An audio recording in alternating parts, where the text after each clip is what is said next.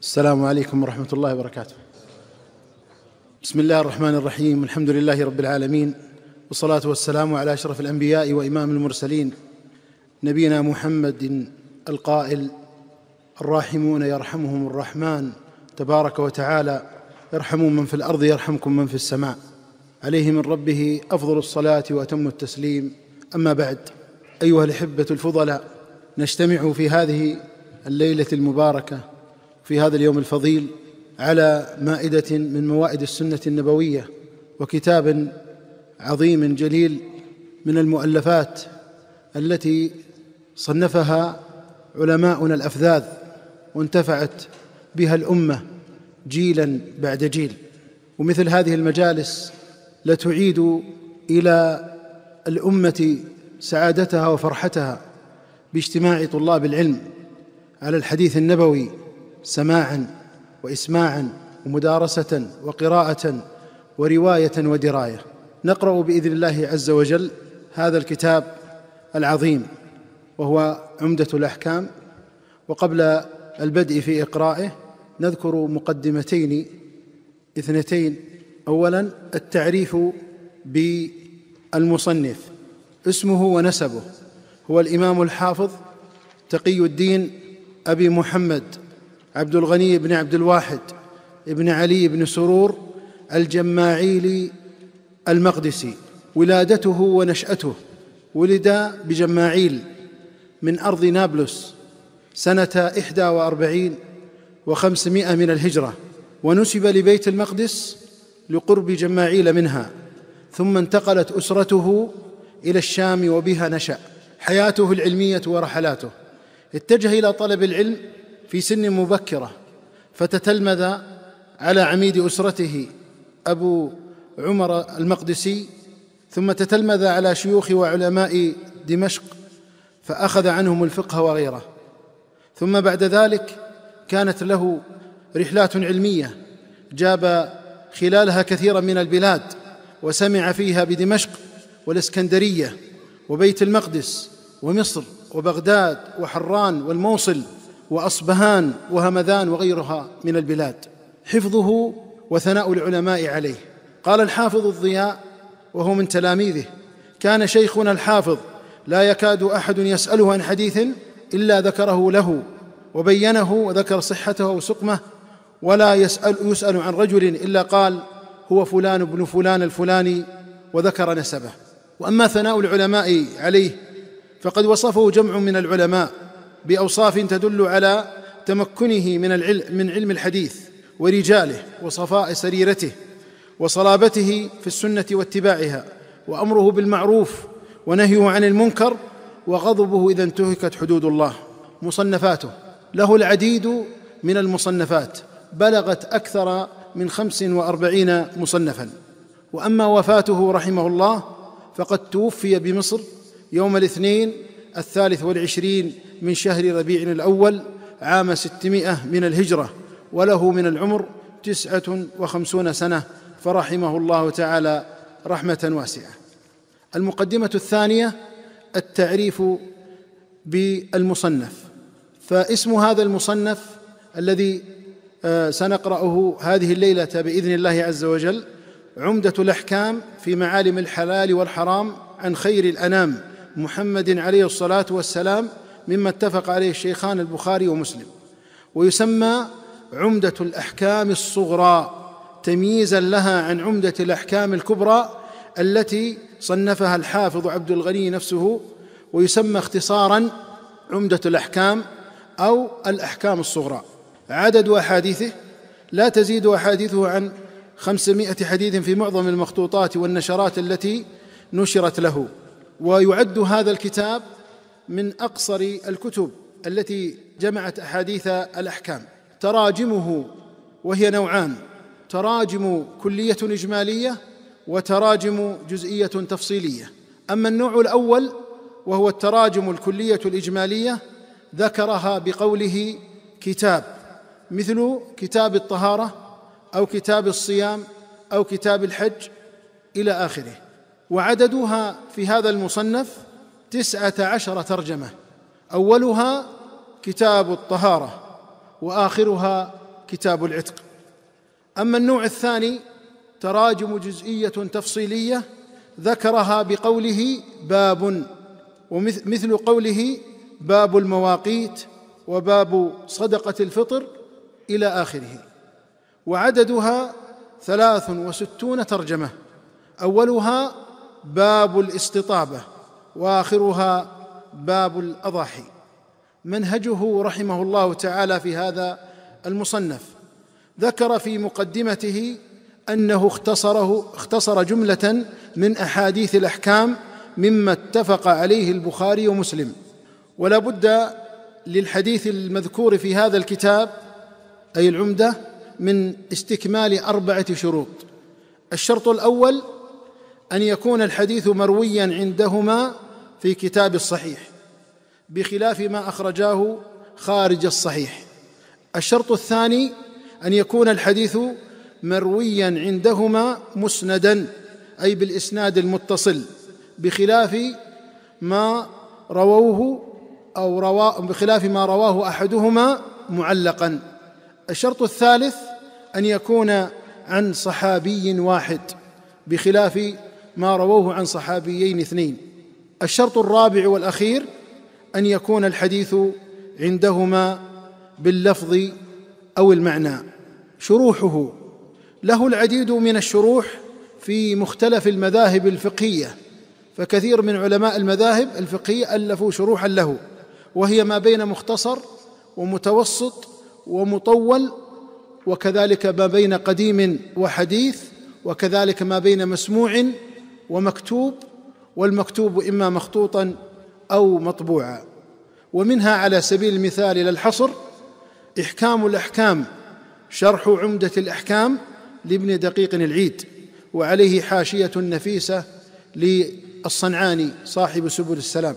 الإعلام في عمدة الأحكام لابن الملقن تيسير العلام للشيخ عبد الله البسام الإفهام لسماحة الشيخ عبد العزيز بن باز وغيرها من الشروح لمشايخنا المعاصرين أو ممن آه، سلف من أهل العلم رحم الله الجميع. أيها الأحبة المنهج العام في هذا الدرس أن أن يكون الأصل هو إمرار الكتاب وسماعه وروايته ويكون التعليق فرعا عن ذلك. فيكون التعليق يسيرا لأمر قضية إنهاء الكتاب في الوقت المحدد لأنه حدد لكم بإذن الله عز وجل أن نتم أن يتم لنا سماع هذا الكتاب ونسمعه ونرويه إن شاء الله في آه، ثلاثة مجالس. المجلس الأول إلى قبيل المغرب والمجلس الثاني يبتدئ من بعد صلاة المغرب إلى آه، أذان العشاء وإن شئتم أضفنا عشر دقائق أو نزيلها حسب الاتفاق معكم إن شاء الله في وقته. والمجلس الثالث هو من بعد صلاة العشاء حتى نختم الكتاب بإذن الله عز وجل نعم قبل البداية آه، نستمع إلى السند ثم نبدأ إن شاء الله في قراءة الكتاب بإذن الله عز وجل. الحمد لله رب العالمين والصلاة والسلام على أشرف الأنبياء والمرسلين نبينا محمد وعلى آله وصحبه افضل الصلاة وأتم التسليم. اللهم اغفر لشيخنا ولجميع الحاضرين قلتم حفظكم الله في إجازة عمة الأحكام في معالم الحلال الحرام عن خير الأنام محمد عليه الصلاة والسلام. ما اتفق عليه شيخان البخاري ومسلم للحافظ عبد الغني بن الواحد المقدسي المتوفى سنة 600 الهجرة رحمه الله. قلتم حفظكم الله ما أخبرنا به شيخنا شيخ المحدثين المسندين محمد إسرائيل بن محمد السلفي الندوي بقراءته لأوله وسماعه لباقيه قال أخبرنا علامة عبد الحكيم الجيري الجي الجواري. الجواري إجازة عن نذير إجازة عن نذير حسين عن الشاه محمد إسحاق عن جده الشاه عبد العزيز عن أبيه الشاه ولي الله عن أبي طاهر الكوراني والتاج القلعي كلاهما عن عبد الله البصري وأحمد النخلي. قلعي. وحسين العجمي ثلاثتهم عن الشمس محمد بن علاء البابلي سماعا لأوله وإجازة لباقيه. عن إبراهيم اللقائي عن إبراهيم اللقاني قال أخبرنا سالم السنهوري قراءة عليه إلى الزكاة وإجازة من باقيه. حاول بإجازة القلعي عالية عن البابلي وهو عالي عن السنهوري. قال وقراءة قال وقراءتها جميعا على شيخنا النجم الغيطي. قال قراءتها على شيخنا شيخ الإسلام زكريا. قال قرأتها على رضوان العقبي. قال أخبرنا أبو الطاهر الربيعي المعروف بابن الكويك. عن محمد بن بكر محمد بن عبد الدائم قال أخبرنا جدي. قال أخبرنا المؤلف. حاو أخبرنا عاليا شيخنا الشيخ قال حاء واخبرنا عاليا شيخنا الشيخ السيد سليمان بن محمد بن عبد الوهاب الأهدل سماعا عليه لجميعه وعرضا لبعضه. قال أخبرنا محمد بن صديق البطاح. قال أخبرنا محمد قال أخبرنا محمد بن عبد الباقي الوجيه عبد الرحمن بن سليمان الأهدل قال أخبرنا والدي عبد الباقي قال أخبرنا والدي الوجيه عبد الرحمن الأهدل قال أخبرنا والدي سليمان بن يحيى بن عمرو الأهدل قال أخبرنا أحمد بن محمد مقبول الأهدل قال أخبرنا يحيى بن عمرو الأهدل قال أخبرنا أبو بكر بن علي البطاح قال أخبرنا يوسف بن محمد البطاح قال أخبرنا الطاهر الحسين الأهدل قال أخبرنا نفيس الدين سليمان بن, ابن إبراهيم العلوي قال أخبرني والدي قال أخبرنا قال أخبرني الحافظ أبو الحجاج المزي قال أخبرني الفخر بن البخاري قال أخبرني مؤلفه.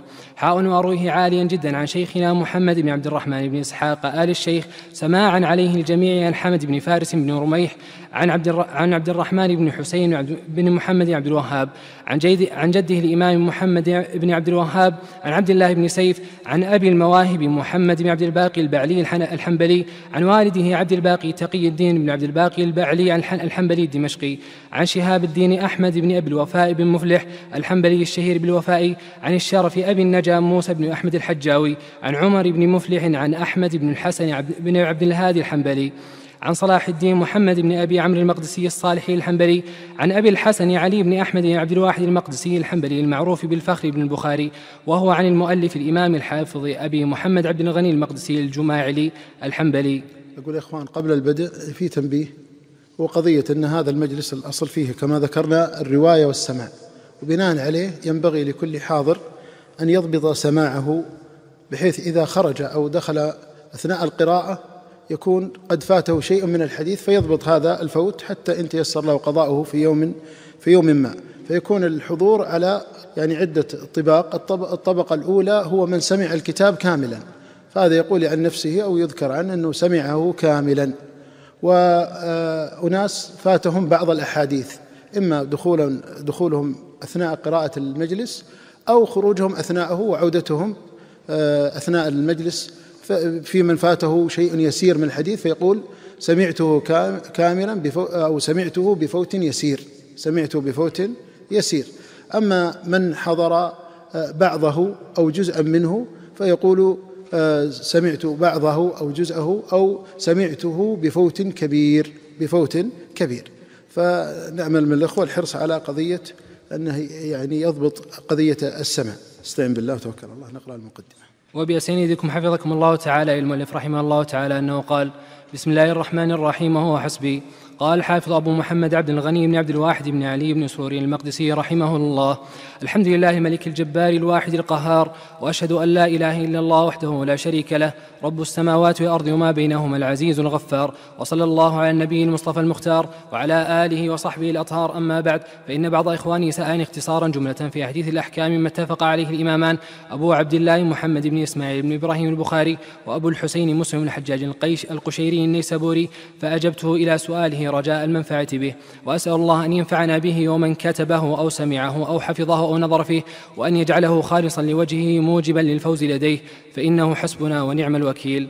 كتاب الطهارة. عن عمر الخطاب رضي الله عنه قال سمعت رسول الله صلى الله عليه وسلم يقول إنما الأعمال بالنية وفي رواية بالنيات وإنما لكل امرئ ما نوى فمن كانت هجرته إلى الله ورسوله فهجرته إلى الله ورسوله ومن كانت هجرته إلى دنيا يصيبها امرأة أو امرأة يتزوجها فهجرته إلى ما هاجر إليه. في هذا الحديث هذا حديث يعتبر يعني مبتدأ مبتدأ كل مصنف فيحرص على البدء بهذا الحديث. وهذا الحديث فيه فوائد كثيرة منها وجوب الإخلاص لله سبحانه وتعالى في جميع الأعمال ومن فوائد هذا الحديث مشروعية الهجرة من بلد الشرك إلى بلد الإسلام. نعم. وعن أبي هريرة رضي الله عنه قال قال رسول الله صلى الله عليه وسلم لا يقبل الله صلاة أحدكم إذا أحدث حتى يتوضأ. هذا الحديث هو الأصل في اشتراط الطهارة للصلاة وفيه جملة من الفوائد منها أن الأعمال منها مقبول ومنها مردود لقوله لا يقبل الله. ومن الفوائد أن الطهارة شرط لصحة الصلاة فرضا كانت أو نفلا. نعم. أحسن الله عليك وعن عبد الله بن عمرو بن العاص وأبي هريرة وعائشة رضي الله عنهم قالوا قال رسول الله صلى الله عليه وسلم ويل للأعقاب من النار. هذا الحديث أصل في وجوب إسباغ الوضوء. ومعنى إسباغ الوضوء تعميم أعضاء الوضوء بالماء بحيث لا يترك موضعا مما يجب غسله. وفي هذا الحديث من الفوائد تغيير المنكر باللسان ببيان الحكم والوعيد. ومنها وجوب إسباغ الوضوء ومنها وجوب غسل العقب.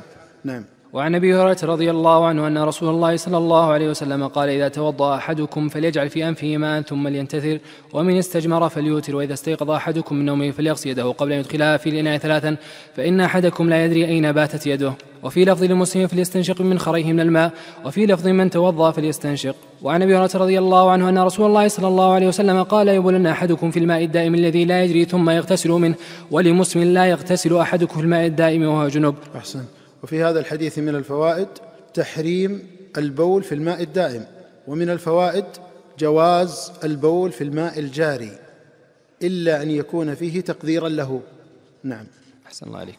وعن أبي هريرة رضي الله عنه أن رسول الله صلى الله عليه وسلم قال إذا شرب الكلب في إناء أحدكم فليغسله سبعا ولمسلم أولاهن بالتراب. وله في حديث عبد الله بن مغفر أن رسول الله صلى الله عليه وسلم قال إذا ولغ الكلب في الإناء فاغسلوه سبعا وعفروه الثامنة بالتراب. وعن حمران مولى عثمان بن عفان رضي الله عنه انه راى عثمان رضي الله عنه دعا بوضوء فأفرغ على يديه من إنائه فغسلهما ثلاث مرات ثم أدخل يمينه في الوضوء ثم تمضمض واستنشق واستنثر ثم غسل وجهه ثلاثا ويديه المرفقين ثلاثا ثم مسح برأسه ثم غسل كلتا رجليه ثلاثا ويديه المرفقين ثلاثا ثم مسح برأسه ثم غسل كلتا رجليه ثلاثا ثم قال رأيت النبي صلى الله عليه وسلم يتوضأ نحو وضوئي هذا وقال من توضأ نحو وضوئي هذا ثم صلى ركعتين لا يحدث فيهما نفسه غفر له ما تقدم من ذنبه. وعن عمرو بن يحيى المازني عن أبيه قال شهدت عمرو بن أبي الحسن قال شهدت عمرو بن أبي حسن سأل عبد الله بن زيد عن وضوء النبي صلى الله عليه وسلم فدعا بتور من ماء فتوضأ لهم وضوء النبي صلى الله عليه وسلم فأكفأ على يديه من التور فغسل يديه فغسل يديه ثلاثا ثم أدخل يده في التور فمضض واستنشق واستنثر ثلاثا ثلاثا بثلاث غرفات ثم أدخل يده فغسل وجهه ثلاثا ثم أدخل يده فغسل يده مرتين إلى المرفقين ثم أدخل يده فمسح رأسه فأقبل بهما وأدبر مرة واحدة ثم غسل رجليه وفي رواية بدأ بمقدم رأسه حتى ذهب بهما إلى قفاه ثم ردهما حتى رجع إلى المكان الذي بدأ منه. وفي رواية أتانا رسول الله صلى الله عليه وسلم فأخرجنا له ماء في تور من صفر والتور شبه الطست. في هذا الحديث من الفوائد تبليغ العلم بالقول والعمل. تبليغ العلم بالقول والعمل. وفيه أيضا أنه يجزئ في الاقتداء المقاربة فلا تجب المماثلة. يكون قريب من ذلك. نعم. أحسن الله عليكم. وعن عائشة رضي الله عنها قالت كان النبي صلى الله عليه وسلم يعجبه التيمن في تنعله وترجله وطهوره وفي شأنه كله. وعن نعيم المجبر عن أبي هريرة رضي الله عنه عن النبي صلى الله عليه وسلم أنه قال إن أمتي يدعون يوم إن أمتي يدعون يوم القيامة غرا محجلين من آثار الوضوء فمن استطاع منكم أن يطيل غرته فليفعل. وفي لفظ لمسلم رأيت أبا هريرة يتوضأ فغسل وجهه ويديه حتى كاد يبلغ المنكبين ثم غسل رجليه حتى رفع إلى الساقين ثم قال سمعت رسول الله صلى الله عليه وسلم يقول إن أمتي يدعون يوم القيامة غرا محجلين من أثر الوضوء فمن استطاع منكم أن يطيل غرته فليفعل. وفي لفظ لمسلم سمعت خليلي صلى الله عليه وسلم يقول تبلغ الحلية من المؤمن حيث يبلغ الوضوء. هذا فيه فضل إسباغ الوضوء. نعم. باب الاستطابة. عن أنس مالك رضي الله عنه النبي صلى الله عليه وسلم كان إذا دخل الخلاء قال اللهم إني أعوذ بك من الخبث والخبائث والخبث بضم الخاء والباء وهو جمع, وهو جمع خبيث والخبائث جمع خبيثة استعاذ من, ذك استعاذ من ذكران الشيطان وإناثهم. وعن أبي أيوب الانصاري رضي الله عنه قال قال رسول الله صلى الله عليه وسلم إذا أتيتم الغائط فلا تستقبلوا القبلة بغائط ولا بول ولا تستدبروها ولكن شرقوا أو غربوا.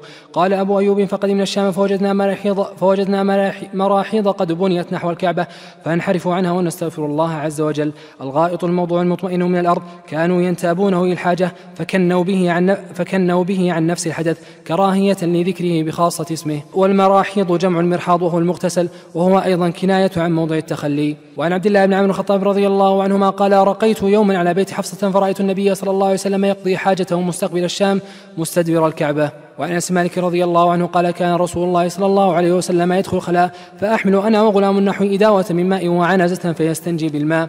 العنزة الحربة الصغيرة. وعن أبي قتادة الحارث بن ربعي الأنصاري رضي الله عنه أن النبي صلى الله عليه وسلم قال لا يمسكن أحدكم ذكره بيمينه وهو يبول ولا يتمسح من الخلاء بيمينه ولا يتنفس في الإناء. وعن عبد الله بن عباس رضي الله عنهما قال مر النبي صلى الله عليه وسلم بقبرين فقال إنهما لا يعذبان وما يعذبان في كبير أما أحدهما فكان لا يستتر من البول وأما الآخر فكان يمشي بالنميمة فأخذ جريزة رطبة فشقها نصفين فغرز في كل قبر واحد فقالوا يا رسول الله لما فعلت هذا؟ قال لعله يخفف عنهما ما لم ييبس باب السواك.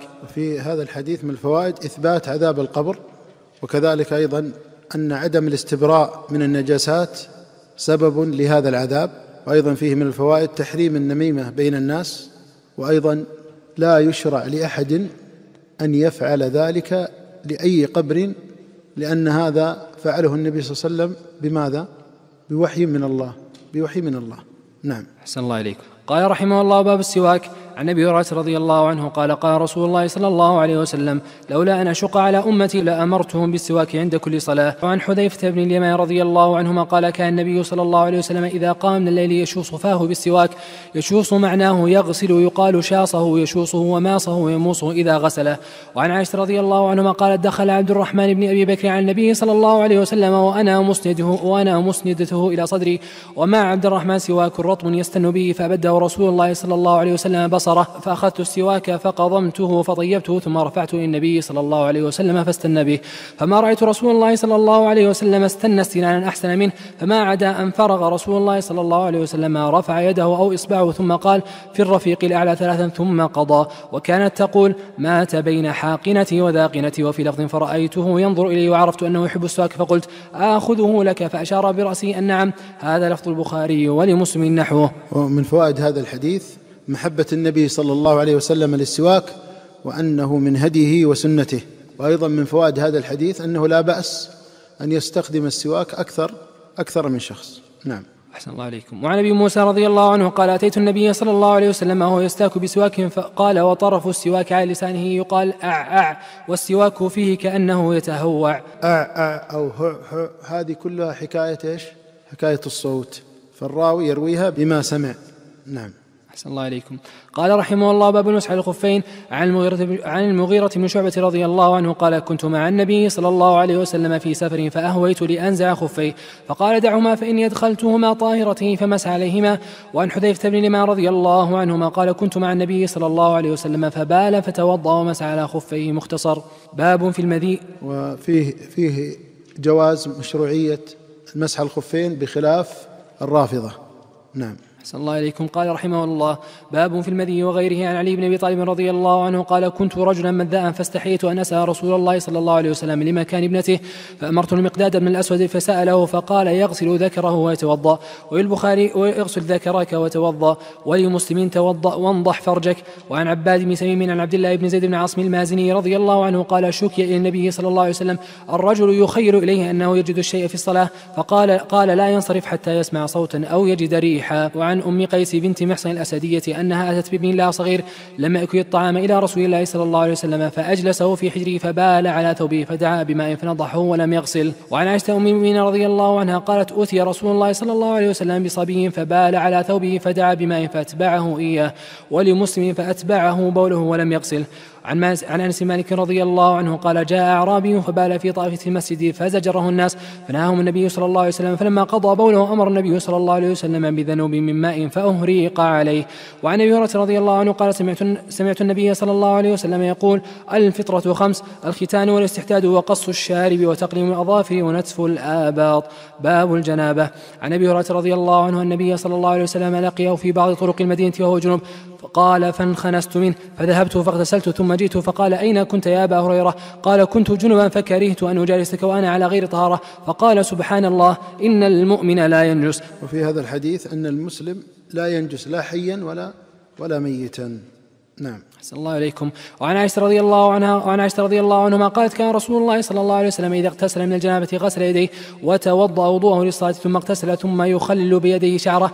حتى إذا ظن أنه قد أروى بشرة وفاض عليه الماء ثلاث مرات ثم غسل سائر جسده.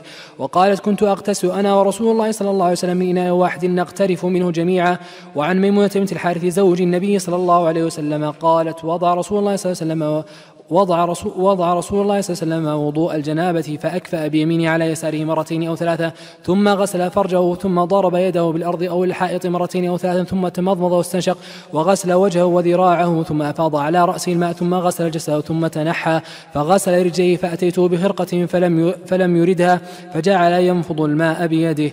وعن عبد الله بن عمر رضي الله عنهما أن عمر بن الخطاب قال يا رسول الله أيرقد أحدنا وهو جنوب قال نعم إذا توضأ أحدكم فليرقد. من فوائد هذا الحديث جواز نوم الجنب إذا توضأ. جواز نوم الجنب إذا توضأ والأولى الغسل قبل النوم والأولى الغسل قبل النوم. نعم. أحسن الله إليكم. وعن أم سلمة زوج النبي صلى الله عليه وسلم قالت جاءت أم مسلم امرأة, امرأة أبي طلحة إلى رسول الله صلى الله عليه وسلم فقالت يا رسول الله إن الله لا يستحي من الحق. هل, هل على المرأة من غسل إذا احتلمت؟ قال رسول الله صلى الله عليه وسلم نعم إذا رأت الماء. وعن عائشة رضي الله عنهما قالت كنت أغ كنت أغسل الجنابة من ثوب رسول الله صلى الله عليه وسلم فيخرج إلى الصلاة وإن, وإن بقع الماء في ثوبه. وفي لفظ المسلم لقد كنت أفركه من ثوب رسول الله صلى الله عليه وسلم فركا فيصلي فيه. وعن أبي هريرة رضي الله عنه قال قال رسول الله صلى الله عليه وسلم إذا جلس بين شعابها الأربع ثم جاهد فقد وجب الغسل وفي لفظ وان لم ينزل. وعن أبي جعفر محمد بن علي بن حسين بن علي بن أبي طالب أنه كان هو ابوه عند جابر بن عبد الله. الحديث السابق يا إخوان وجوب الغسل من علاج الذكر في الفرج إذا لم ينزل. وقد يخفى على يخفى هذا الحكم على بعض العوام فوجب التنبيه. يخفى هذا الحكم على بعض العوام. لأن بعضهم يعتقد أنه لا بد من الإنزال. نعم. أحسن الله عليكم. وعن أبي جعفر محمد بن علي بن الحسين بن علي بن أبي طالب أنه كان هو وأبوه عند جابر عبد الله وعنده قوم فسألوه عن الغسل فقال يكفيك صاع فقال رجل ما يكفيني؟ فقال جابر كان يكفي من هو أوفى منك شعرا وخيرا منك يريد النبي صلى الله عليه وسلم ثم ثم أمنا في ثوب. وفي لفظ كان النبي صلى الله عليه وسلم يفرغ الماء على رأسه ثلاثة. الرجل الذي قال ما يكفيني هو الحسن بن محمد بن علي نبي طالب أبوه ابن, الحن أبوه ابن الحنفية. وفي هذا الحديث فيه مشروعية الإنكار على من خالف السنة. فيه مشروعية الإنكار على من خالف السنة. نعم. صلى الله عليكم. قال رحمه الله باب التيمم. عن عمران بن حسين رضي الله عنه أن رسول الله صلى الله عليه وسلم رأى رجلا معتزلا لم يصلي في القوم فقال يا فلان ما منعك أن تصلي في القوم؟ فقال يا رسول الله أصابتني جنابة ولا ماء. قال عليك بالصعيد فإنه يكفيك. وعن عمار بن ياسر رضي الله عنه قال بعث النبي صلى الله عليه وسلم في حاجة فأجنبت فلم أجد الماء فتمرغت في الصعيد كما تمرغ الدابة. ثم أتيت النبي صلى الله عليه وسلم فذكرت له فقال إنما كان يكفيك أن تقول بيديك هكذا ثم ضرب بيديه الأرض ضربة واحدة ثم مسح الشمال على اليمين وظاهر كفيه وجهه. التيمم يرفع الحدثين الأكبر والأصغر إذا عدم الماء أو في حكم عادم الماء. نعم.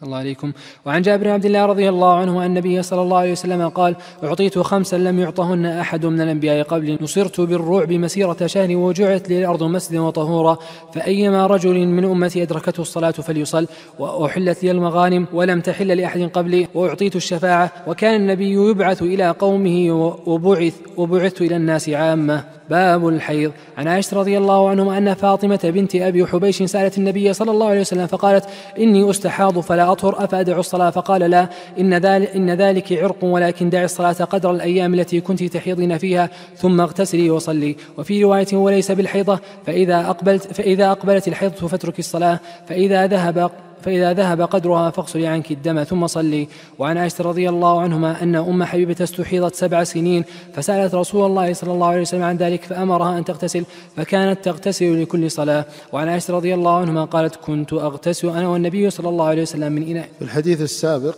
أن دم الاستحاضة لا يمنع الصلاة وسائر العبادات بخلاف دم الحيض. نعم. صلى الله عليك. وعن عائشة رضي الله عنهما قالت كنت أغتسل أنا والنبي صلى الله عليه وسلم من إناء واحد كلانا جنوب فكان يأمرني فأتزر فيباشرني وأنا حائض وكان يخرج رأسه إلي وهو معتكف فأغسله وأنا حائض. وعن عائشة رضي الله عنها قالت كان رسول الله صلى الله عليه وسلم يتكئ في حجري وأنا حائض فيقرأ القرآن. وعن معاذ رضي الله عنهما قالت سألت عائشة رضي الله عنها فقلت ما بال الحائض تقضي الصوم وتقضي الصلاة؟ فقالت أحرية أنت قلت لست بحرية ولكني أسأل. قالت كان يصيبنا ذلك فنؤمر بقضاء الصوم ولا نؤمر بقضاء الصلاة. كتاب الصلاة باب المواقيت. أحسنت بارك الله فيك. وبأسانيدكم حفظكم الله المقدسي في كتابه عمدة الأحكام قال كتاب الصلاة باب المواقيت. عن أبي عمرو الشيباني واسمه سعد بن إياس قال حدثني صاحب هذه الدار وأشار بيده إلى دار عبد الله بن مسعود قال سألت النبي صلى الله عليه وسلم أي العمل أحب إلى الله؟ قال الصلاة على وقتها. قلت ثم أي. قال بر الوالدين. قلت ثم أي. قال الجهاد في سبيل الله. قال حدثني بهن رسول الله صلى الله عليه وسلم ولو استزدته لزادني. فوائد هذا الحديث أن الأعمال أن الأعمال تتفاضل. نعم. أحسن الله إليكم. عن عائشة رضي الله عنها أنها قالت لقد كان رسول الله صلى الله عليه وسلم يصلي الفجر فيشهد معه نساء من المؤمنات متلفعات بمروطهن ثم يرجعن إلى بيوتهن ما يعرفهن أحد من الغلس. المروط أكسية معلمة تكون من خز وتكون من صوف ومتلفعات ملتحفات والغلس اختلاط ضياء الصبح بظلمة الليل. فيه جواز حضور النساء في المساجد مع عدم الفتنة.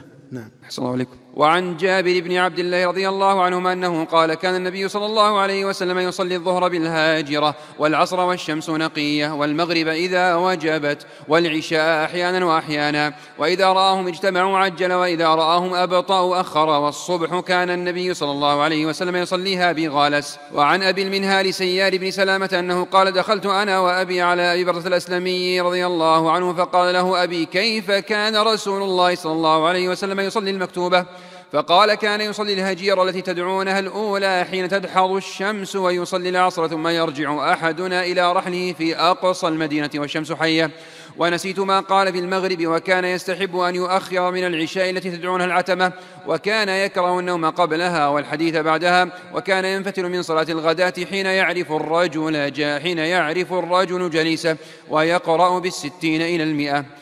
وعن علي بن أبي طالب رضي الله عنه أن النبي صلى الله عليه وسلم قال يوم الخندق ملأ الله قبورهم وبيوتهم نارا كما شغلونا عن الصلاة الوسطى حتى غابت الشمس. وفي لفظ لمسلم شغلونا عن الصلاة الوسطى صلاة العصر ثم صلاها بين المغرب والعشاء. وله عن عبد الله بن مسعود رضي الله عنه أنه قال حبس المشركون رسول الله صلى الله عليه وسلم عن صلاة العصر حتى احمرت الشمس أو اصفرت. فقال رسول الله صلى الله عليه وسلم شغلونا عن الصلاة الوسطى صلاة العصر. ملأ الله أجوافهم وقبورهم نارا أو قال حشى الله أجوافهم وقبورهم نارا. فيه أن أن من نسي الصلاة فليصلها إذا ذكرها وفيه جواز الدعاء على الظالم. نعم.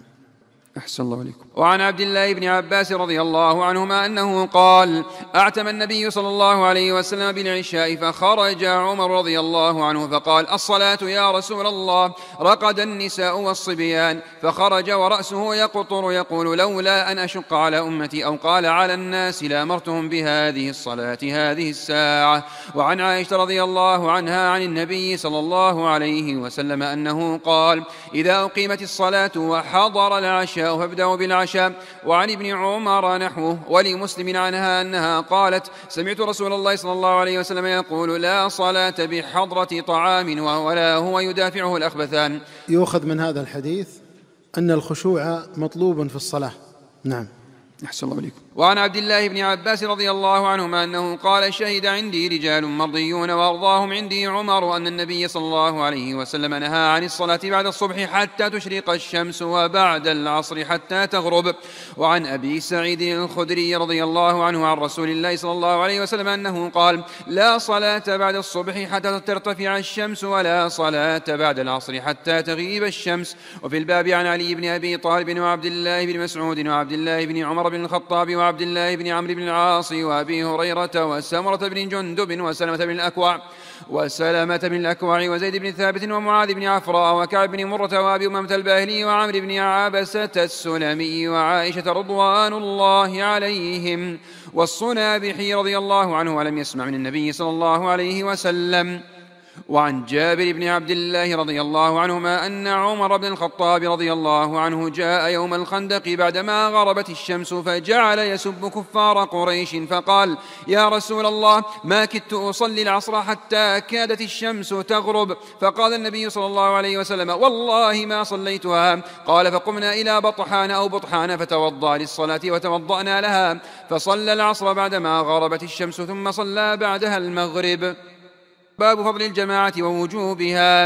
عن عبد الله بن عمر رضي الله عنهما أن رسول الله صلى الله عليه وسلم قال صلاة الجماعة أفضل من صلاة الفذ بسبع وعشرين درجة وعن أبي هريرة رضي الله عنه أنه قال قال رسول الله صلى الله عليه وسلم صلاة الرجل في جماعة تضعف على صلاته في بيته وفي سوقه خمسا وعشرين ضعفا وذلك أنه إذا توضأ فأحسن الوضوء ثم خرج إلى المسجد لا يخرجه إلا الصلاة. لم يخطو خطوة أو خطوة إلا رفعت له بها درجة وحط عنه بها خطيئة. فإذا صلى لم تزل الملائكة تصلي عليه ما دام في مصلاه اللهم صل عليه اللهم اغفر له اللهم ارحمه ولا يزال في صلاة من انتظر الصلاة. وعنه قال قال رسول الله صلى الله عليه وسلم أثقل الصلاة على المنافقين صلاة العشاء وصلاة الفجر ولو يعلمون ما فيهما لا توهما ولو حبوا ولقد هممت أن آمر بالصلاة فتقام ثم آمر رجلا فيصلي بالناس ثم أنطلق معي برجال معهم حزم من حطب إلى قوم لا يشهدون الصلاة فأحرق عليهم بيوتهم بالنار فوائد هذا الحديث أن صلاة الجماعة فرض عين على الرجال فمن تركها يأثم. وكذلك فيه فضل صلاة العشاء والفجر. وفيه من الفوائد أن كل الصلوات ثقيلة على المنافقين وأثقلها صلاة العشاء والفجر. نعم. أحسن الله إليكم. وعن عبد الله بن عمر رضي الله عنهما عن النبي صلى الله عليه وسلم أنه قال إذا استأذنت أحدكم امرأته إلى المسجد فلا يمنعها. قال فقال بلال بن عبد الله والله لنمنعهن. قال فأقبل عليه عبد الله فسبه سبا سيئا ما سمعته سبه مثله قط. وقال أخبرك عن رسول الله صلى الله عليه وسلم وتقول والله لنمنعهن. وفي لفظ لا تمنعوا إماء الله مساجد الله. فيه شدة غيرة السلف الصالح على نسائهم مع انتشار الخير في ذاك الزمان. نعم. أحسن الله إليكم. وعن عبد الله بن عمر رضي الله عنهما أنه قال صليت مع رسول الله صلى الله عليه وسلم ركعتين قبل الظهر وركعتين بعد الظهر. وركعتين بعد الجمعة وركعتين بعد المغرب وركعتين بعد العشاء. وفي لفظ فأما المغرب والعشاء والجمعة ففي بيته. وفي لفظ أن ابن عمر قال حدثتني حفصة أن النبي صلى الله عليه وسلم كان يصلي سجدتين خفيفتين بعدما يطلع الفجر وكانت ساعة لا أدخل على النبي صلى الله عليه وسلم فيها. وعن عائشة رضي الله عنها أنها قالت لم يكن النبي صلى الله عليه وسلم وسلم على شيء من النوافل تعاهدا منه على ركعتي الفجر. وفي لفظ لمسلم ركعتا الفجر خير من الدنيا وما فيها. باب الأذان. والمقصود بركعتي الفجر هي؟ السنة القبلية.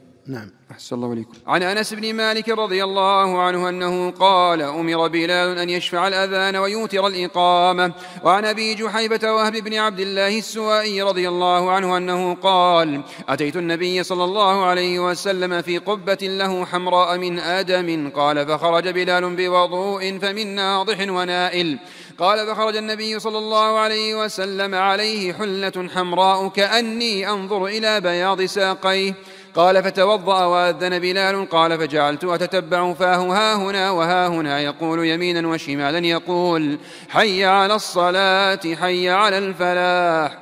ثم ركزت له عنزة فتقدم وصلى الظهر ركعتين ثم صلى العصر ركعتين ثم لم يزل يصلي ركعتين حتى رجع إلى المدينة. فيه من الفوائد مشروعية قصر الرباعية ركعتين في السفر وفيه أيضا استحباب السترة أمام المصلي. نعم. أحسن الله إليك. وعن عبد الله بن عمر رضي الله عنهما عن النبي صلى الله عليه وسلم أنه قال إن بلالا يؤذن بليل فكلوا واشربوا حتى تسمعوا أذان ابن أم مكتوم. وعن أبي سعيد الخدري رضي الله عنه أنه قال قال رسول الله صلى الله عليه وسلم إذا سمعتم المؤذن فقولوا مثل ما يقول. باب استقبال القبلة. عن عبد الله بن عمر رضي الله عنهما أن رسول الله صلى الله عليه وسلم كان يسبح على ظهر راحلته حيث كان وجهه يومئ برأسه وكان ابن عمر يفعله. وفي رواية كان يوتر على بعيره ولمسلم غير أنه لا يصلي عليها المكتوبة وللبخاري إلا الفرائض. وفي هذا وفي هذا جواز صلاة النافلة في السفر على الراحلة.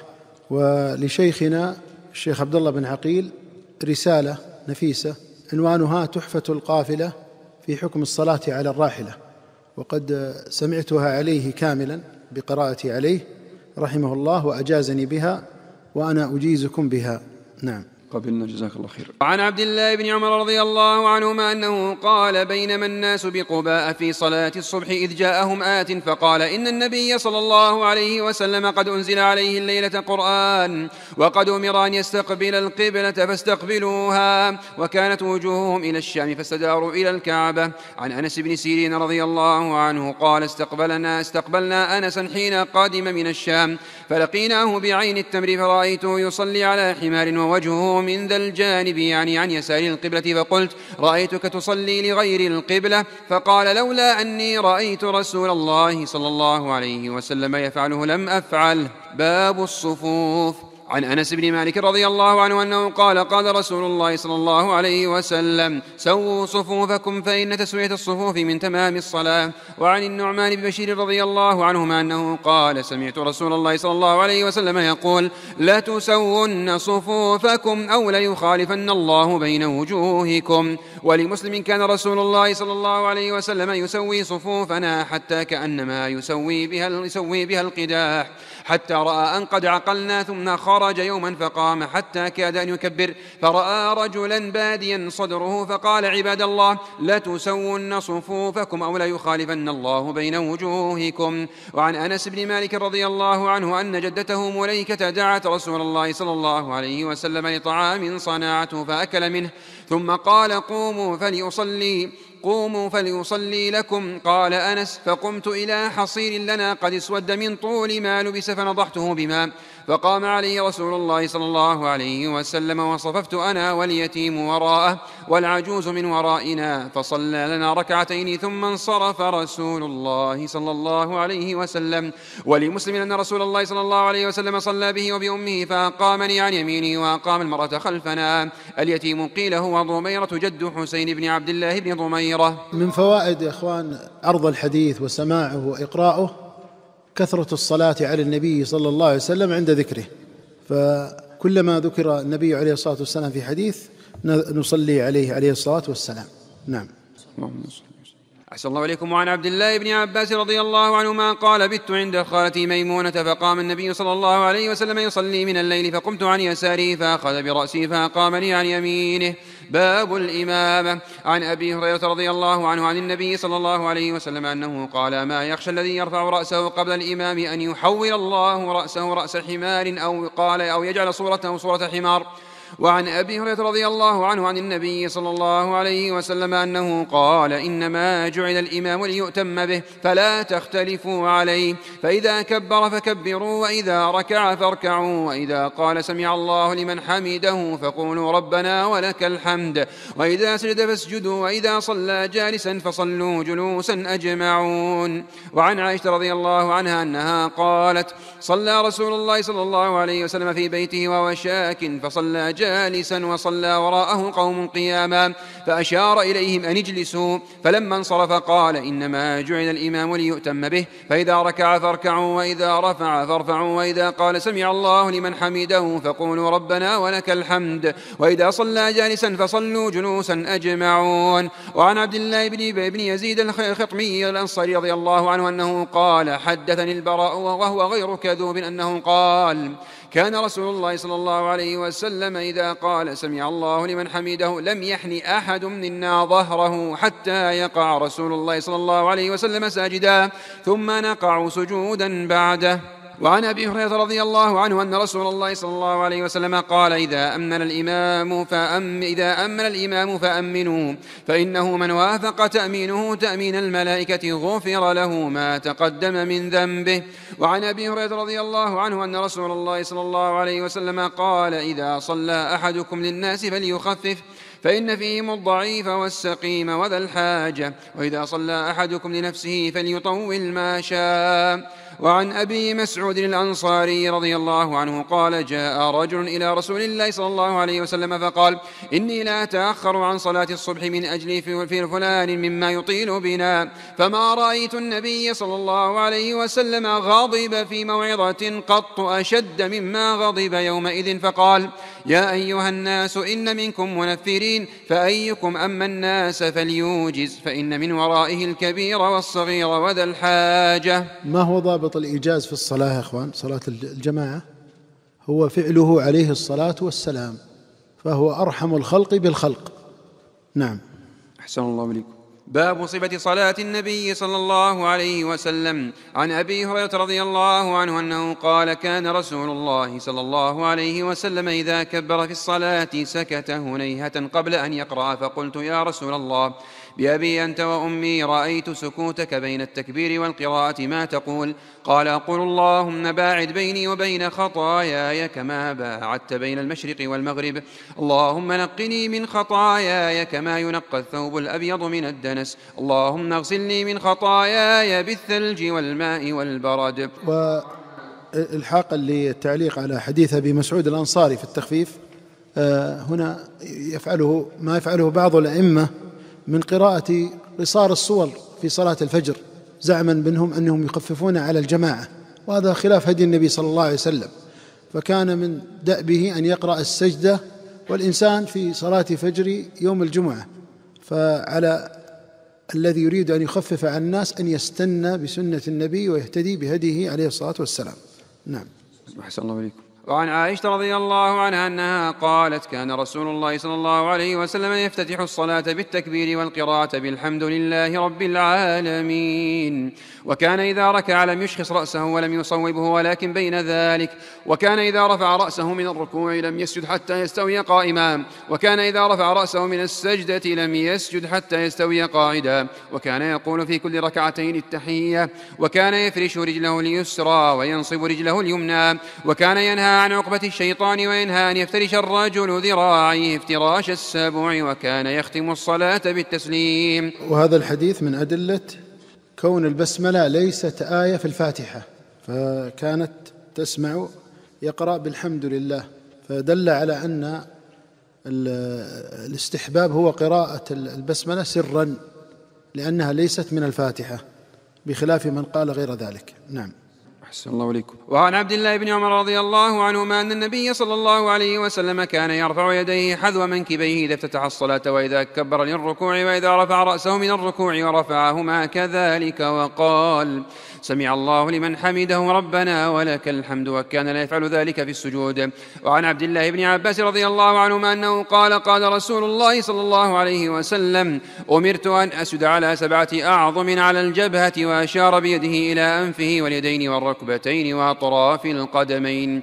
وعن أبي هريرة رضي الله عنه أنه قال كان رسول الله صلى الله عليه وسلم إذا قام إلى الصلاة يكبر حين يقوم ثم يكبر حين يركع ثم يقول سمع الله لمن حمده حين يرفع صلبه من الركعة ثم يقول وهو قائم ربنا ولك الحمد ثم يكبر حين يهوي ثم يكبر حين يرفع رأسه ثم يكبر حين يسجد ثم يكبر حين يرفع رأسه ثم يفعل ذلك في صلاته كلها حتى يقضيها ويكبر حين يقوم من الثنتين بعد الجلوس.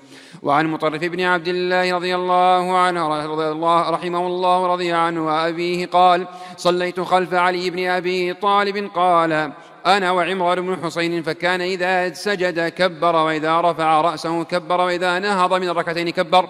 فلما قضى الصلاة أخذ بيدي عمران بن حسين فقال قد ذكرني هذا صلاة محمد صلى الله عليه وسلم. أو قال صلى بنا صلاة محمد صلى الله عليه وسلم. وعن البراء بن عازب رضي الله عنهما أنه قال رمقت الصلاة مع محمد صلى الله عليه وسلم فوجدت قيامه فركعته فاعتداله بعد ركوعه فسجدته فجلسته بين السجدتين فسجدته فجلسته ما بين التسليم والانصراف قريبا من السواء وفي رواية البخاري ما خال القيام والقعود قريبا من السواء وعن ثابت البناني رضي الله عنه عن أنس بن مالك رضي الله عنه أنه قال إني لا آل أن أصلي بكم كما رأيت رسول الله صلى الله عليه وسلم يصلي بنا.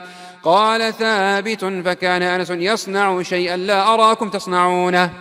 كان إذا رفع رأسه من الركوع انتصب قائما حتى يقول القائل قد نسي وإذا رفع رأسه من السجدة مكث حتى يقول القائل قد نسي. وعن أنس بن مالك رضي الله عنه أنه قال ما صليت خلف إمام قط أخف صلاة ولا أتم صلاة من النبي صلى الله عليه وسلم وعن أبي قلابة عبد الله بن زيد الجرمي البصري قال جاءنا مالك بن الحويرث في مسجدنا هذا قال إني لاصلي بكم وما أريد الصلاة أصلي كيف رأيت رسول الله صلى الله عليه وسلم يصلي فقلت لأبي قلابة كيف كان يصلي؟ قال مثل صلاة صلاة شيخنا هذا وكان يجلس إذا رفع رأسه من السجود قبل أن ينهض. وعن عبد الله بن مالك بن بحينة رضي الله عنه أنه قال إن النبي صلى الله عليه وسلم كان إذا صلى فرج بين يديه حتى يبدو بياض إبطيه. وعن أبي مسلمة سعيد بن يزيد قال سألت أنس بن مالك رضي الله عنه أكان النبي صلى الله عليه وسلم يصلي فينا عليه قال نعم. وعن أبي قتادة الأنصاري رضي الله عنه أن رسول الله صلى الله عليه وسلم قال كان يصلي وهو حامل أمامة بنت زينب بنت رسول الله صلى الله عليه وسلم ولأبي العاص بن الربيع بن عبد شمس فإذا سجد وضعها وإذا قام حملها. وعن أنس بن مالك رضي الله عنه عن النبي صلى الله عليه وسلم أنه قال اعتدلوا في السجود ولا يبسط أحدكم ذراعيهم بساط الكلب. باب وجوب الطمأنينة في الركوع والسجود. عن أبي هريرة رضي الله عنه أن رسول الله صلى الله عليه وسلم دخل المسجد فدخل رجل فصلى ثم جاء فسلم على النبي صلى الله عليه وسلم فقال ارجع فصل فإنك لم تصل فرجع فصلى كما صلى ثم جاء فسلم على النبي صلى الله عليه وسلم فقال ارجع فصل فإنك لم تصلي. قالها ثلاثا فقال والذي بعثك بالحق ما أحسن غيره فعلمني. قال إذا قمت إلى الصلاة فكبر ثم قرا ما تيسر معك معك من القرآن. ثم اركع حتى تطمئن راكعا ثم ارفع حتى تعتدل قائما. ثم اسجد حتى تطمئن ساجدا ثم ارفع حتى تطمئن جالسا. وافعل ذلك في صلاتك كلها. باب القراءة في الصلاة. بعض الأحاديث لها أسماء كحديث جبريل وغير ذلك. فهذا الحديث ما اسمه؟ مشهور. حديث حديث المسيء في صلاته. نعم أحسنتم. أحسن الله إليكم. قال وعن عبد الله عن عبادة بن الصامت رضي الله عنه أن رسول الله صلى الله عليه وسلم قال لا صلاة لمن لم يقرأ بفاتحة الكتاب. وعن أبي قتادة الأنصاري رضي الله عنه أنه قال كان النبي صلى الله عليه وسلم يقرأ في الركعتين الأوليين من صلاة الظهر بفاتحة الكتاب والسورتين يطول في الأولى ويقصر في الثانية يسمع الآية أحيانا وكان يقرأ في العصر بفاتحة الكتاب والسورتين يطول في الأولى ويقصر في الثانية وكان يطول في الركعة الأولى من صلاة صلاة الصبح ويقصر في الثانية وفي الركعتين الأخريين بأم الكتاب. وعن جبير بن مطعم رضي الله عنه أنه قال سمعت النبي صلى الله عليه وسلم يقرأ في المغرب بالطور. وعن البراء بن عازب رضي الله عنه أن النبي صلى الله عليه وسلم كان في سفر فصلى العشاء الآخرة فقرأ في إحدى الركعتين والتين والزيتون فما سمعت أحدا أحسن صوتا أو قال قراءة منه صلى الله عليه وسلم وعن عائشة رضي الله عنها أن رسول الله صلى الله عليه وسلم بعث رجلا على سرية فكان يقرأ لأصحابه في صلاتهم فيختم بقل هو الله أحد فلما رجعوا ذكر ذكروا ذلك لرسول الله صلى الله عليه وسلم فقال سلوه لأي شيء يصنع ذلك. فسألوه فقال لأنها صفة الرحمن عز وجل فأنا أحب أن أقرأ بها. فقال رسول الله صلى الله عليه وسلم أخبروه أن الله تعالى يحبه. وعن جابر رضي الله عنه أن النبي صلى الله عليه وسلم قال لمعاذ فلولا صليت بسبح اسم ربك الأعلى والشمس وضحاها والليل إذا يغشى فإنه يصلي وراءك الكبير والضعيف وذو الحاجة. باب ترك الجهر ببسم الله الرحمن الرحيم. عن أنس بن مالك رضي الله عنه أن النبي صلى الله عليه وسلم وأبا بكر وعمر رضي الله عنهما كانوا يفتتحون الصلاة بالحمد لله رب العالمين. وفي رواية صليت مع أبي بكر وعمر وعثمان فلم أسمع أحدا منهم يقرأ بسم الله الرحمن الرحيم. ولمسلم صليت خلف النبي صلى الله عليه وسلم وأبي بكر وعمر وعثمان فكانوا يستفتحون بالحمد لله لله رب العالمين. لا يذكرون بسم الله الرحمن الرحيم في أول القراءة في أول قراءة ولا آخرها. باب سجود السهو. عن محمد بن سيرين عن أبي هريرة رضي الله عنه أنه قال صلى بنا رسول الله صلى الله عليه وسلم إحدى صلاتي العشي قال ابن سيرين وسماها أبو هريرة ولكن نسيت أنا. قال فصلى بنا ركعتين ثم سلم فقام إلى خشبة معروضة في المسجد فاتكأ عليها كأنه غضبان.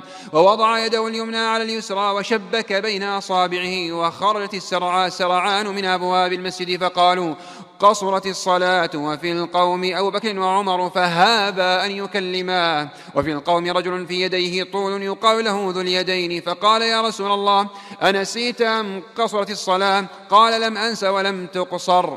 فقال كما يقول ذو اليدين فقالوا نعم فتقدم فصلى ما ترك ثم سلم ثم كبر وسجد مثل سجوده أو أطول ثم رفع رأسه فكبر ثم كبر وسجد مثل سجوده أو أطول ثم رفع رأسه وكبر فربما سألوه ثم سلم قال فنبئت أن عمران بن حسين قال ثم سلم. وعن عبد الله بن بحينة وكان من أصحاب النبي صلى الله عليه وسلم أن النبي صلى الله عليه وسلم صلى بهم الظهر فقام في الركعتين الأوليين ولم يجلس فقام الناس معه حتى إذا قضى الصلاة وانتظر الناس تسليمه كبر وهو جالس فسجد سجدتين قبل أن يسلم ثم سلم. باب المرور بين يدي المصلي. عن أبي جهيم بن الحارث بن الصمة الأنصاري رضي الله عنهما قال قال رسول الله صلى الله عليه وسلم لو يعلم المار بين يدي المصلي ماذا عليه من الإثم لكان أن يقف أربعين خير له من أن يمر بين يديه. قال أبو النضر لا أدري. قال أربعين يوما أو شهرا أو سنة. وعن أبي سعيد الخدري رضي الله عنه أنه قال سمعت النبي صلى الله عليه وسلم يقول إذا صلى أحدكم إلى شيء فلي إلى شيء يستره من الناس فأراد أحد أن يجتاز بين يديه فليدفعه فإن أبى فليقاتله فإنما هو شيطان. وعن عبد الله بن عباس رضي الله عنهما أنه قال أقبلت راكبا على حمار أتاني وأنا يومئذ قد ناهزت الاحتلام ورسول الله صلى الله عليه وسلم يصلي بالناس بمنا إلى غير جدار. فمررت بين يدي بعض الصف فنزلت فأرسلت الآتان ترتع ودخلت في الصف فلم ينكر ذلك علي أحد. وعن عائشة رضي الله عنها أنها قالت كنت أنام بين يدي رسول الله صلى الله عليه وسلم ورجلاي في قبلته فإذا سجد غمزني فقبضت رجلي وإذا قام بسطتهما والبيوت يومئذ ليس فيها مصابيح. باب جامع. عن أبي قتادة بن ربعي الأنصاري رضي الله عنه أنه قال قال النبي صلى الله عليه وسلم إذا دخل أحدكم المسجد فلا يجلس حتى يصلي ركعتين. وعن زيد بن أرقم قال كنا نتكلم في الصلاة يكلم الرجل صاحبه وهو إلى جنبه في الصلاة حتى نزلت وقوموا لله قانتين فأمرنا بالسكوت ونهينا عن الكلام. وعن عبد الله بن عمر وأبي هريرة رضي الله عنهم عن النبي صلى الله عليه وسلم أنه قال إذا اشتد الحر فأب فأبردوا عن الصلاة فإن شدة الحر من فيح جهنم. وعن أنس بن مالك رضي الله عنه عن النبي صلى الله عليه وسلم أنه قال من نسي صلاة فليصلها إذا ذكرها ولا كفارة لها إلا ذلك وأقم الصلاة لذكري. ولمسلم من نسي صلاة أو نام عنها فكفارتها أن يصليها إذا ذكرها. وعن جابر بن عبد الله أن معاذ بن جبل رضي الله عنهم كان يصلي مع رسول الله صلى الله عليه وسلم عشاء الآخرة ثم يرجع إلى قومه فيصلي بهم تلك الصلاة. وعن أنس بن مالك رضي الله عنه أنه قال كنا نصلي مع رسول الله صلى الله عليه وسلم في شدة الحر فإذا لم يستطع أحدنا أن يمكن جبهته من الأرض بسط ثوبه فسجد عليه. وعن أبي هريرة رضي الله عنه أنه قال قال رسول الله صلى الله عليه وسلم لا يصلي أحدكم في الثوب الواحد ليس على عاتقه منه شيء. وعن جابر بن عبد الله رضي الله عنهما عن النبي صلى الله عليه وسلم أنه قال من أكل ثوما أو بصلا فليعتزلنا أو قال ليعت وليعتزل مسجدنا وليقعد في بيته وأتي بقدر فيه خضرات من بقول فوجد لها ريحا فسأل فأخبر بما فيها من البقول فقال قربوها إلى بعض أصحابه فلما رآه كره أكلها أكلها قال كل فإني أناجي من لا تناجي. حكمة النهي يا أخوان هي أذية الملائكة والمصلين فيلحق به أي بالنهي كل ذي أذى يلحق به كل ذي أذى. يقول ف فإني أناجي من لا تناجي. من يقصد؟ جبريل. نعم. أحسن الله إليكم. وعن جابر عن النبي أن النبي صلى الله عليه وسلم قال من أكل البصل والثوم والكراث فلا يقربن مسجدنا فإن الملائكة تتأذى مما يتأذى منه بنو آدم. باب التشهد. عن عبد الله بن مسعود رضي الله عنه أنه قال علمني رسول الله صلى الله عليه وسلم التشهد كفي بين كفيه كما يعلمني السورة من القرآن. التحيات لله والصلوات والطيبات. السلام عليك أيها النبي ورحمة الله وبركاته. السلام علينا وعلى عباد الله الصالحين. أشهد أن لا إله إلا الله وأشهد أن محمدا عبده ورسوله.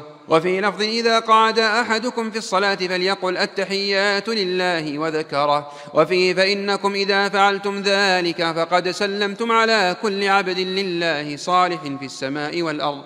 وفيه فليتخير من المسألة ما شاء. وعن عبد الرحمن بن أبي ليلى قال لقيني كعب بن عجرة فقال ألا أهدي لك هدية؟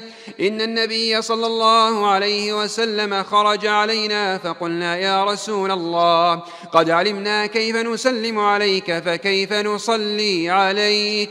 قال قولوا اللهم صل على محمد وعلى آل محمد كما صليت على آل إبراهيم إنك حميد مجيد. اللهم بارك على محمد وعلى آل محمد كما باركت على آل إبراهيم إنك حميد مجيد.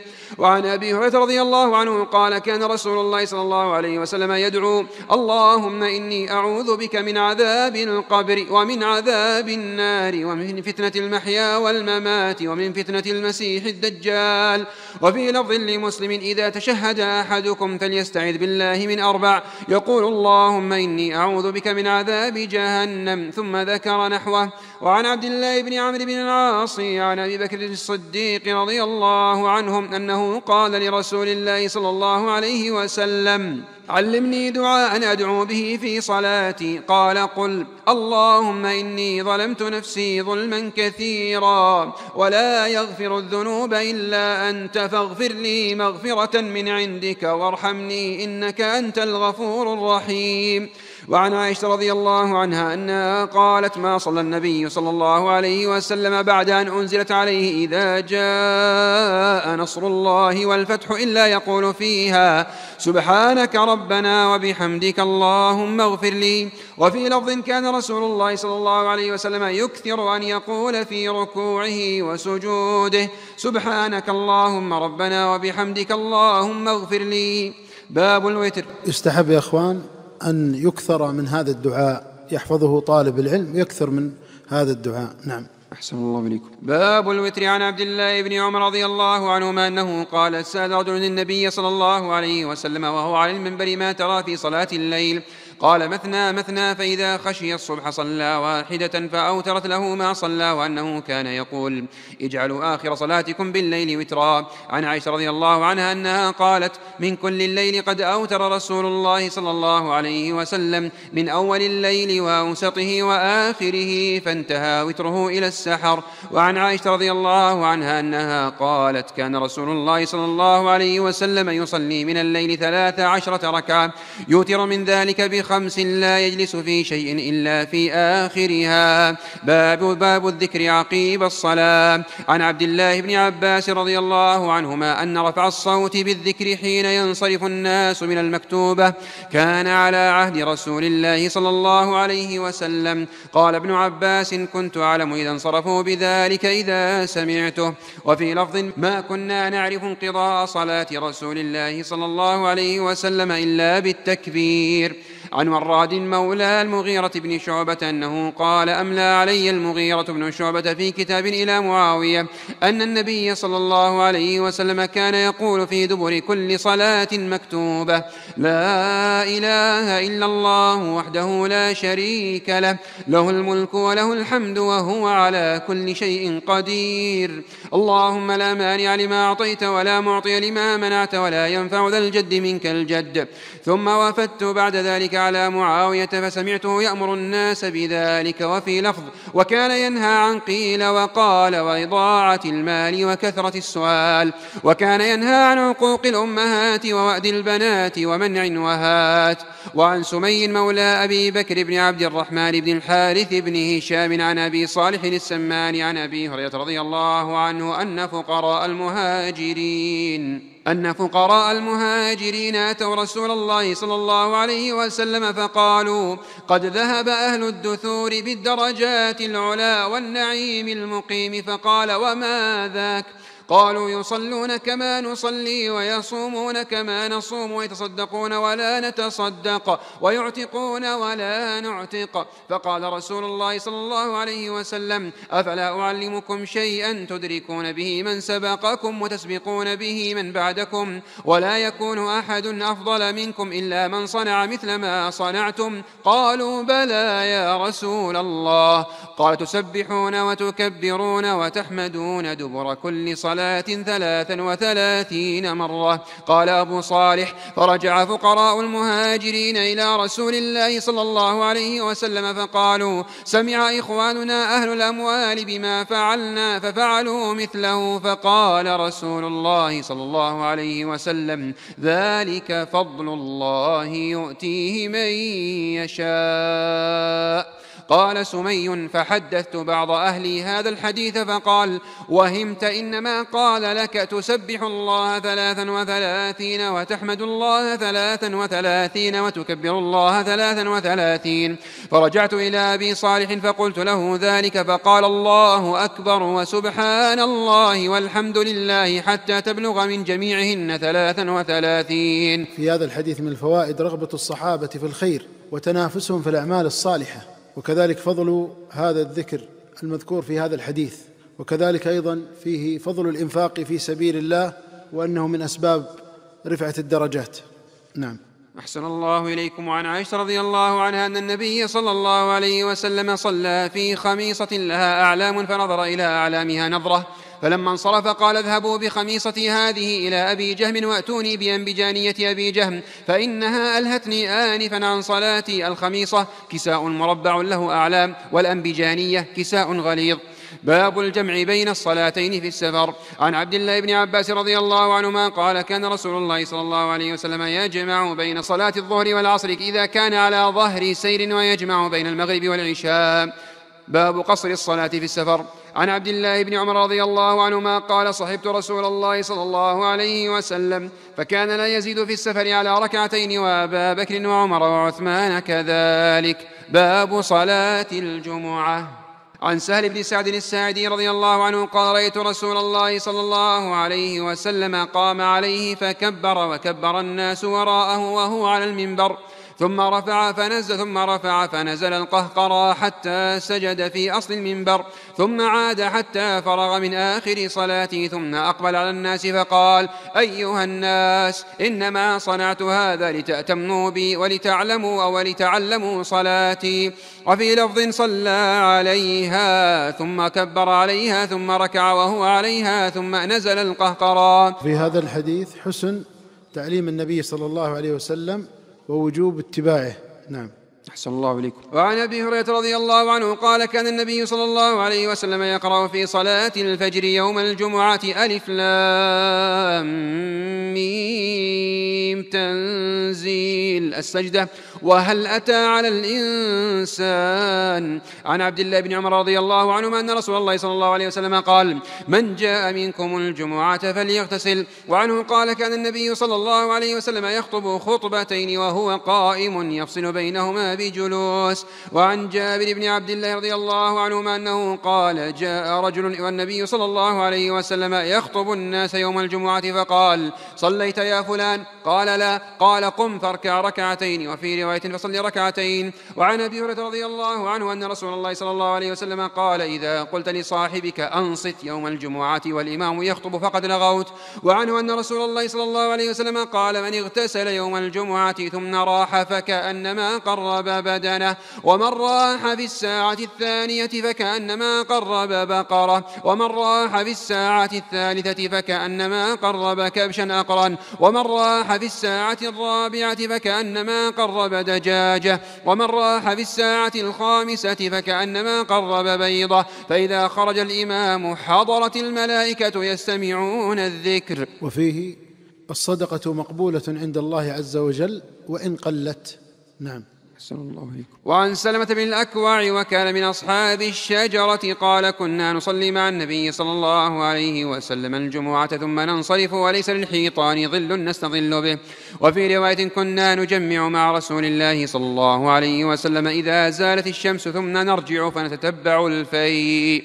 باب صلاة العيدين. عن عبد الله بن عمر رضي الله عنهما قال كان النبي صلى الله عليه وسلم وأبو بكر وعمر يصلون العيدين قبل الخطبة. وعن البراء بن عازب رضي الله عنهما أنه قال خطبنا النبي صلى الله عليه وسلم يوم الأضحى بعد الصلاة. فقال من صلى صلاتنا ونسك نسكنا فقد أصاب النسك ومن نسك قبل الصلاة فلا نسك له. فقال أبو بردة بن نيار خال البراء بن عازب خال البراء بن عازب يا رسول الله نسكت شاتي قبل الصلاة وعرفت أن اليوم يوم أكل وشرب وأحبت أن تكون شاتي أول ما يذبح في بيتي.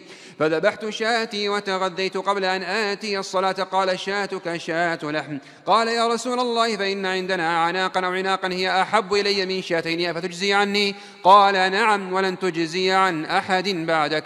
عن جندب بن عبد الله البجري رضي الله عنه أنه قال صلى النبي صلى الله عليه وسلم يوم النحر ثم خطب ثم ذبح وقال من ذبح قبل أن يصلي فليذبح أخرى مكانها ومن لم يذبح فليذبح بسم الله. وعن جابر رضي الله عنه أنه قال شهدت مع النبي صلى الله عليه وسلم يوم العيد فبدأ بالصلاة قبل الخطبة بلا أذان ولا إقامة. ثم قام متوكئا على بلال فأمر بتقوى الله عز وجل وحث على طاعته ووعظ الناس وذكرهم. ثم مضى حتى أتى النساء فوعظهن وذكرهن وقال صدقن فإن كن أكثر حطب جهنم فقامت امرأة من سطة الناس سفعاء الخدين فقالت لم يا رسول الله؟ قال لأن كن تكثرن الشكاة أو الشكاة وتكفرن العشير. قال فجعلن يتصدقن من حليهن يلقين في ثوب بلال من أقرطة من أقرطتهن وخواتيمهن. وعن أم عطية نسيبة الأنصارية رضي الله عنها قالت أمرنا تعني النبي صلى الله عليه وسلم أن نخرج في العيدين العواتق وذوات الخدور وأمر الحيض أن يعتزلن مصلى المسلمين. وفي لفظ كنا نؤمر أن نخرج يوم العيد حتى نخرج البكر من خدرها حتى نخرج الحيض فيكبرن بتكبيرهم ويدعون بدعائهم ثم يرجون بركة ذلك اليوم وطهرته. باب صلاة الكسوف. عن عائشة رضي الله عنها أن الشمس خسفت على عهد رسول الله صلى الله عليه وسلم فبعث مناديا ينادي الصلاة جامعة بالصلاة جامعة فاجتمعوا وتقدم فكبر وصلى أربع ركعات في ركعتين وأربع سجدات. وعن أبي مسعود عقبة بن عمرو الأنصاري البدري رضي الله عنه أنه قال قال رسول الله صلى الله عليه وسلم إن الشمس والقمر آيتان من آيات الله يخوف الله بهما عباده وإنهما لا ينخسفان لموت أحد من الناس فإذا رأيتم منها شيئا شيئا فصلوا وادعوا حتى ينكشف ما بكم. وعن عائشة رضي الله عنها أنها قالت خسفت الشمس على عهد رسول الله صلى الله عليه وسلم. فصلى رسول الله صلى الله عليه وسلم بالناس فطال القيام ثم ركع فطال الركوع ثم قام فأطال القيام وهو دون القيام الأول ثم ركع فأطال الركوع وهو دون الركوع الأول ثم سجد فأطال السجود ثم فعل في الركعة الأخرى مثل ما فعل في الأولى ثم انصرف وقد تجلت الشمس الشمس فخطب الناس فحمد الله وأثنى عليه ثم قال إن الشمس والقمر آيتان من آيات الله لا يخسفان لموت أحد ولا لحياته فإذا رأيتم ذلك فادعوا الله وكبروا وصلوا وتصدقوا. ثم قال يا أمة محمد والله ما من أحد أغير من الله أن يزني عبده أو تزني أمته. يا أمة محمد والله لو تعلمون ما أعلم لضحكتم قليلا ولبكيتم بقيتم كثيرا. وفي لفظ فاستكمل أربع ركعات وأربع سجدات. وعن أبي موسى الأشعري رضي الله عنه أنه قال خسفت الشمس في زمان رسول الله صلى الله عليه وسلم فقام فزعا. فقام فزعا يخشى أن تكون الساعة. حتى أتى المسجد فقام فصلى بأطول قيام وركوع وسجود. ما رأيته يفعله في صلاة قط ثم قال إن هذه الآيات التي يرسل الله لا تكون لموت أحد ولا لحياته ولكن الله عز وجل يرسلها يخوف بها عباده. فإذا رأيتم منها شيئا فافزعوا إلى ذكر الله ودعائه واستغفاره. يساره وهذه يا أخوان كما ذكر النبي صلى الله عليه وسلم هي آيات. فينبغي أن لا تخرج عن سياقها بحيث تكون ظواهر كونية كما يقول بعض الإعلاميين. ويجتمع الناس لتصويرها والنظر إليها. إنما الواجب على المسلم الفزع إلى الصلاة وإظهار الانكسار بين يدي الله والتوبة إلى الله سبحانه وتعالى. وتبقى هي آية والقصد منها التخويف للعباد وإن استطاع بعض البشر أن يحسبها بالحسابات الفلكية. فالمقصود منها الآية كما نص عليه النبي صلى الله عليه وسلم. نعم. صلى الله عليكم باب صلاة الاستسقاء. عن عبد الله بن زيد بن عاصم المازني رضي الله عنه أنه قال خرج النبي صلى الله عليه وسلم يستسقي فتوجه إلى القبلة يدعو وحول رداءه ثم صلى ركعتين يجهر فيهما بالقراءة وفي لفظ إلى المصلى. وعن أنس بن مالك رضي الله عنه أن رجلا دخل المسجد يوم جمعة من باب كان نحو دار القضاء ورسول الله صلى الله عليه وسلم قائم يخطب فاستقبل رسول رسول الله صلى الله عليه وسلم قائما ثم قال يا رسول الله هلكت الأموال وانقطعت السبل فادعوا الله يغثنا قال فرفع رسول الله صلى الله عليه وسلم يديه ثم قال اللهم اغثنا اللهم اغثنا اللهم اغثنا قال أنس فلا والله ما نرى في السماء من سحاب ولا قزع وما بيننا وبين سلع من بيت ولا دار قال فطلعت من ورائه سحابة مثل الترس فلما توسطت السماء انتشرت ثم أمطرت قال فلا والله ما رأينا الشمس سبتا. قال ثم دخل رجل من ذلك الباب في الجمعة المقبلة ورسول الله صلى الله عليه وسلم قائم يخطب فاستقبله قائما فقال يا رسول الله هلكت الأموال وانقطعت السبل فادعوا الله يمسكها فادعوا الله يمسكها عنا. قال فرفع رسول الله صلى الله عليه وسلم يديه ثم قال اللهم حوالينا ولا علينا اللهم على الآكام والضراب وبطون الأودية ومنابت الشجر. قال فأقلعت وخرجنا نمشي في الشمس. قال شريك فسألت أنس بن مالك أهو الرجل الأول؟ قال لا أدري. الضراب الجبال الصغار. باب صلاة الخوف. عن عبد الله بن عمر بن الخطاب رضي الله عنهما قال صلى بنا رسول الله صلى الله عليه وسلم صلاة الخوف في بعض أيامه فقامت طائفة معه وطائفة بإزاء العدو فصلى بالذين معه ركعة ثم ذهبوا وجاء الآخرون فصلى بهم ركعة وقضت الطائفتان ركعة ركعة. وعن يزيد بن رومان عن صالح بن خوات بن جبير عن من صلى مع رسول الله صلى الله عليه وسلم صلاة ذات الرقاع صلاة الخوف أن طائفة صف صفت معه وطائفة وجاه العدو فصلى بالذين معه ركعة ثم ثبت قائما واتموا لأنفسهم ثم انصرفوا فصفوا وجاه العدو وجاءت الطائفة الأخرى فصلى بهم الركعة التي بقيت ثم ثبت جالسا واتموا لأنفسهم ثم سلم بهم. الذي صلى مع النبي صلى الله عليه وسلم هو سهل بن أبي حثمة.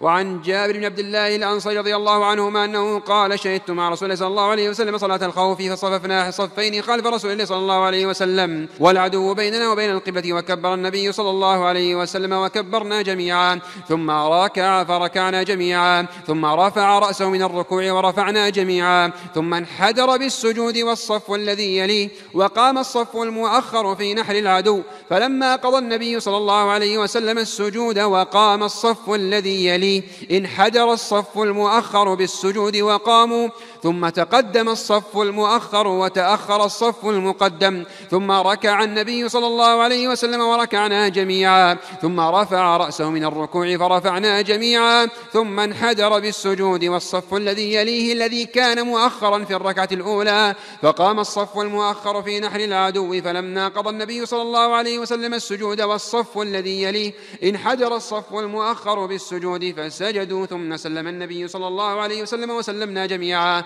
قال جابر كما يصنع حرسكم هؤلاء بأمرائهم. ذكره مسلم بتمامه. وذكر البخاري طرفا منه وأنه صلى صلاة الخوف مع النبي صلى الله عليه وسلم في الغزوة السابعة غزوة ذات الرقاع. كتاب الجنائز. عن أبي هريرة رضي الله عنه أنه قال نعى النبي صلى الله عليه وسلم النجاشي في اليوم الذي مات فيه خرج بهم إلى المصلى فصف بهم وكبر أربعة. وعن جابر أن النبي صلى الله عليه وسلم صلى على النجاشي فكنت في الصف الثاني أو الثالث. تشرع صلاة الغائب تشرع صلاة الغائب في من لم يصلى عليه. نعم. أحسن الله إليكم وعن عبد الله بن عباس رضي الله عنهما أن رسول الله صلى الله عليه وسلم صلى على قبر بعدما دفن فكبر عليه أربعا وعن عائشة رضي الله عنها أن رسول الله صلى الله عليه وسلم كفن في ثلاثة أثواب يمانية بيض ليس فيها قميص ولا عمامة. عن أم عطية الأنصارية رضي الله عنها قالت دخل علينا رسول الله صلى الله عليه وسلم حين توفيت ابنته فقال اغسلنها ثلاثا أو قال أو خمسا أو أكثر من ذلك إن رأيتن ذلك بماء وسدر. واجعلن في الآخرة كافورا أو قال شيئا من كافور فإذا فرغتن فآذنني. فلما فرغنا آذناه فأعطانا حقوه فقال أشعرنها به تعني إزارة. وفي رواية أو سبعة وقال ابدأن بميامنها ومواضع الوضوء منها. وأن أم عطية قالت وجعلنا رأسها ثلاثة قرون. وعن عبد الله بن عباس رضي الله عنهما أنه قال بينما رجل واقف بعرفة إذ وقع عن راحلته فوقصته أو قال فأوقصت أو, أو قال فأوقصته فقال رسول الله صلى الله عليه وسلم اغسلوه بماء وسدر وكفنوه في ثوبين ولا تحنطوه ولا تخمروا رأسه فإنه يبعث يوم القيامة ملبيا. وفي رواية ولا تخمروا وجهه ولا رأسه الوقص كسر العنق. عن أم عطية الأنصارية قالت نهينا عن اتباع الجنائز ولم يعزم علينا. وعن أبي هريرة رضي الله عنه عن النبي صلى الله عليه وسلم أنه قال أسرعوا بالجنازة أو الجنازة فإن تكن صالحة فخير تقدمونها إليه. وإن تك سوى ذلك فشر تضعونه عن رقابكم. وعن سمرة بن جندب رضي الله عنه أنه قال صليت وراء النبي صلى الله عليه وسلم على امرأة ماتت في نفاسها فقام وسطها. وعن أبي موسى عبد الله بن قيس رضي الله عنه أن رسول الله صلى الله عليه وسلم برئ من الصالقة والحالقة والشاقة الصالقة التي ترفع صوتها عند المصيبة. وعن عائشة رضي الله عنها أنها قالت لما اشتكى النبي صلى الله عليه وسلم ذكر بعض نسائه كنيسة أرأينها بأرض الحبشة يقال له ما يقال لها ماريا وكانت أم سلمة وأم حبيبة أتتا أرض الحبشة فذكرتا من حسنها التصاوير فيها فرفع رأسه فقال أولئك إذا مات فيهم الرجل الصالح بنوا على قبره مسجدا. ثم صوروا فيه تلك الصورة أولئك شرار الخلق عند الله. وعنها قالت قال رسول الله صلى الله عليه وسلم في مرضه الذي لم يقم منه لعن الله اليهود والنصارى اتخذوا قبور أنبيائهم مساجد. قالت ولولا ذلك وابرز قبره غير أنه خشي أن يتخذ مسجدا. مسجدا أو خشي أن يتخذ مسجدا. وعن عبد الله بن مسعود رضي الله عنه عن النبي صلى الله عليه وسلم أنه قال ليس منا من ضرب الخدود وشق الجيوب ودعا بدعوى الجاهلية. وعن أبي هريرة رضي الله عنه أنه قال قال رسول الله صلى الله عليه وسلم من شهد الجنازة حتى يصلى عليها فله قيراط ومن شهدها حتى تدفن فله قيراطان. قيل وما القيراطان؟ قال مثل الجبلين العظيمين ولمسلم أصغرهما مثل أحد. حضور الجنائز أيها الأحبة فيه الفضل المذكور في هذا الحديث فله قيراطان من صلى على جنازة وتبعها حتى تدفن والمصلحة تكون لمن أيها الأحبة؟ للمصلي. فالمصلي والتابع للجنازة ينتفع من هذا العمل بأمرين الأول هو الأجر هذا الأجر العظيم المترتب في هذا الحديث والثاني هو ماذا؟ ها؟ أيوه ترقيق قلبه وموعظته ولذلك جاءت الأحاديث والنصوص بالتذكير بالموت وهذا من تذكير الإنسان بالموت الذي لا يحضر الجنائز ولا يتبع الجنائز يكون في غفلة عن الموت والذي يصلي على الجنائز يراها رأي العين وتذكر الموت وإذا ذهب إلى المقابر ازداد تذكره والنبي صلى الله عليه وسلم يقول زوروا القبور فإنها تذكركم الآخرة. فعلى العبد وعلى طالب العلم على وجه الخصوص أن يعتني بهذا الأصل. وهو قضية آه، ترقيق قلبه والحرص على ترقيق قلبه. ومما آه، يؤسف له حرص الناس في هذه الأزمنة على قضية العزاء فقط. فتجد الإنسان إذا سمع أن أحدا قد مات لا يحرص على الصلاة عليه بل يذهب إلى العزاء وربما يسافر لأجل العزاء. فينبغي علينا يا إخوان أن نأخذ بالهدي النبوي هدي النبي عليه الصلاة والسلام بأن نجتهد في الصلاة على الجنائز ومتابعتها حتى تدفن ويكون هذا المكان للعظة والعبرة لا للقاء والسلام والابتسامات وغيرها كما يفعله بعض الناس هداهم الله. فيكون تكون المقبرة مكانا لتبادل الأحاديث وغيرها. أسأل الله سبحانه وتعالى أن يرزقنا قلوبا مقبلة عليه وأن يقبل منا ومنكم صالح الأعمال. نقف عند هذا القدر ونكمل إن شاء الله بعد صلاة المغرب بإذن الله وصلى الله وسلم على نبينا محمد.